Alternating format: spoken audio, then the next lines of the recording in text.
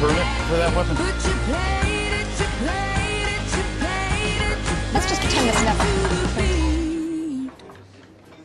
Is that a grenade? What grenade?